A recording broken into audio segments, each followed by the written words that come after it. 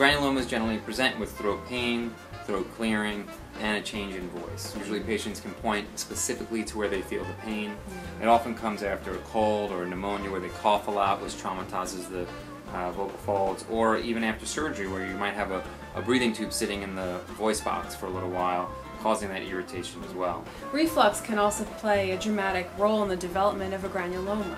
But interestingly, the change in voice quality is, is nowhere near as significant as the patient's complaint of pain.